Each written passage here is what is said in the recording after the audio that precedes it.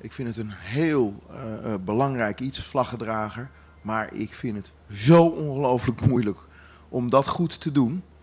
Ehm, ik ben daarbij, uh, ga, ik ga af op mijn eigen gevoel. Ik ga af op iets wat ik wil meegeven aan Nederland, aan, aan alle sporters in Nederland. Um, en ik zit elke keer zit ik met een lijst van uh, geweldige sporters. Ik denk, ja, weet je, daar zou ik dat verhaal bij hebben, daar zou ik dat verhaal bij hebben. En dat was nu ook zo. Um, als je zo'n succesvolle topsportster hebt, de koningin van Team NL uh, in je ploeg, dan uh, is dat een van de eerste waar je aan denkt. En toch uh, heb ik gekozen voor Bob, omdat ik weet niet of Bob nog een speler gaat doen. Hij wilde gisteravond niet zeggen of hij uh, wilde stoppen. Maar ik weet wel dat Bob een fenomenale uh, carrière heeft als sportman. Ik weet bovendien dat een, in een werkelijk, mm, dat moeten jullie dan maar even van mij geloven, buitengewoon moeilijke week voor Bob.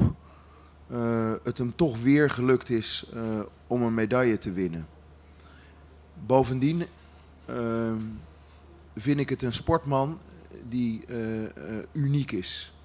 Uh, het is een van de meest sociale sporters die wij in Team NL gehad hebben. Die bij iedereen aangesloten is, die altijd die aansluiting zoekt. Het is een jongen die ehm, in heel veel dingen echt uniek is. Ehm, ik sprak met hem na die tumultueuze dagen voor de openingsceremonie. En samen kwamen we er eigenlijk op van jong is het niet goed om uh, naar de bergen te gaan. Vervolgens besluit hij dan dat hij gaat fietsen. Um, en um, ja, de wijze waarop hij dat doet, waarop hij daar dan zijn trainingen doet, daar los van komt, terugkomt en toch weer die medaille uh, won.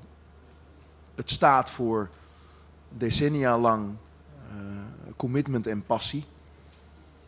En ehm, dat is mijn motivatie geweest om, om Bob vanavond de vlag te laten dragen.